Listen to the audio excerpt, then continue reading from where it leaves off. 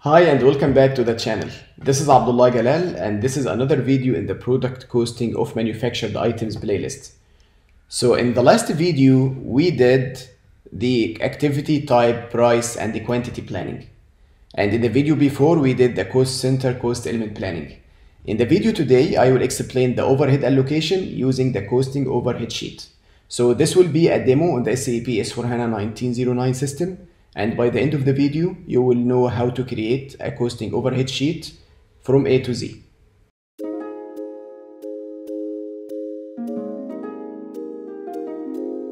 So today I'm going to do this part. So the rent expenses will be allocated to the machine activity and the seller's expenses will be allocated to labor activity. So the rent will be activated to machine. So 10,000 to 27,000 is 37% and salaries 5000 to 10000 is 50%. Now before you continue watching this video, as always, I recommend that you review the business process video where I explain the business concept behind the overhead allocation using the costing overhead sheets. So you should be uh, you should be able to easily understand everything that I will explain and demonstrate in the video today. Let's go to the system. So the transaction I'm using is KZS2, maintain costing sheet. Double click. So I'm going to create a costing sheet from scratch so we can see how this works. New entries. So let's call this one GA002. Description as demo costing sheet. Enter. Select the line and go to costing sheet rows. It is very simple. Please pay attention. This is a very, very simple screen. So we have three things that we have to define. We have to define a base, an overhead rate, and a credit. The base is the base of our calculation. If we go to the Excel sheet, this is our base, the machinery and the labor. So we will create a base and we will tell SAP that we are calculating the overhead percentage based on the machine and the labor. The second thing is the overhead rate. So this is where we maintain the rate, 37% and 50%. The last one is credit. Credit is where SAP is going to take these expenses from and allocate them to the product. Remember when we talked about the cost center, we said it has two sides. Anything on the debit are the expenses uh, planned on the cost center, and in the credit are the expenses allocated. So this is why it is called a credit. So which cost center will SAP credit in order to allocate the expenses to the products? And also here we maintain the allocation cost element. We will see this in detail now. So I'm going to start with the base. So you have to create a new entry. The row you can give any number. So I will start by row number 10. And this will be a base row. So the base, you can put any code here okay and description let's say that this is labor base then you select the line and you have to hit enter first enter then select the line and go to base double click on base so entry does not exist do you want to create a new entry yes what is this uh, labor base and I will create the base based on the cost element and origin or cost center and activity type. This depends on how you uh, would like to determine the different bases. For me, I will keep as cost element origin. You can go ahead and try everything in your system, of course. So cost element origin and controlling area GA00, okay. And create a new entry. So from cost element to cost element, or you can say a cost element group. So this is the base cost element on which SAP will calculate the rate. So the cost element I have, so this is for labor. The cost element for labor is labor also. So remember that this is not the activity type. This is the cost element assigned to the activity type in the master data. If you check the video I created, the first one in the demo, I explained how to create the different uh, master data. When we created the, the activity type for labor, I assigned a cost element that I called labor also. So I have the same naming for the activity type and the cost element. It doesn't have to be like this, it can be different. So now I'm using labor and uh, the, the cost element is labor also. So save. Okay. Go back to costing sheet rows. So this is it. I created a base for labor. Now I'm going to create another base for machinery. So new entries again. This is row 20. Let's call it X2. and also enter select the line and double click on base doesn't exist create a new entry yes name is machine mac base machinery base okay all right and new entries so the cost element for machinery is also MACH so this is the cost element assigned in the activity type. Again it is not the activity type itself. It is the cost element assigned uh, assigned inside the active type. And save. Go back. So now I have created two base rows for machinery and labor. Now I will define rows for overhead and credit. So define a new row. So this is row 110 and this is for, will uh, depending on the base from row number 10 so I'm going to insert the rate and the credit here. The rate will be calculated based on the base that we created in row number 10 and I create another line 120 this will be based on row number 20 and overhead and the credit. So overhead I can mention anything. So let's say A1 and this will be A2 credit let's say that this is G1 and G2 let's go into the details of this. So I, I now I have to create the overhead and I have to create the credit. Overhead rate. Would you like to create a new entry? Yes. So this is overhead. It will be labor overhead labor overhead. Would you like this overhead to be a percentage or quantity based in my example it is a percentage. It is 37 percent.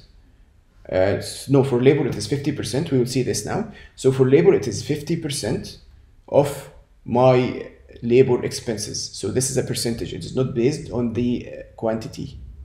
If it is based on the quantity it will mean that whenever we spend one minute we have this expense. For me no. I'm saying that whenever we spend this value we have this expense. So it will be a percentage of the value and dependency this determines the layout of how you determine the rate so it is very easy to explain if you try the different dependencies you'll see the difference it's very easy for me i am calculating the rate based on the overhead type only so I can choose different combination for determining the rate. For me, it is going to be the same rate for everyone except for different overhead types. So overhead type, overhead type is either plan or actual. Okay. All right. So as you see, because I choose dependency D000, which is overhead type, I only have one column for overhead type here. I don't have any other criteria for determining the rate. If you choose a different dependency, you will have different rows. So new entry, valid from, so this will be valid from the beginning of the year until the end of the year. And controlling area is GA00. Overhead type is actual or planned. So I now I'm doing a planning cycle. I'm doing a cost estimate. So I'm determining the planned overhead rate. The actual overhead rate is the one that will be actually used at the end of the period after we do our production. And yes, it can be different from your plan because now I'm calculating the plan based on uh, planned expenses, but the actual expenses can be different. So if the actual expenses are different, the allocation rate will also be different. So now I'm working on the planned percentage and the percentage I'm using for labor, let's go to the Excel sheet. So labor is 50%. 50%. So this is 50% from the base in row 10, which is the cost element for the labor activity. This is how SAP knows how to calculate the overhead. And I'm going to save. I have to define the other values also. Okay, no problem. So now let's define the credit. Or let's go back to the costing sheet rows to remember what we are doing. So I defined, now I defined this one, the labor overhead. Now I'm going to define the credit for the labor. So select the line and go to credit. Do you want to create a new entry? Yes. So this is labor credit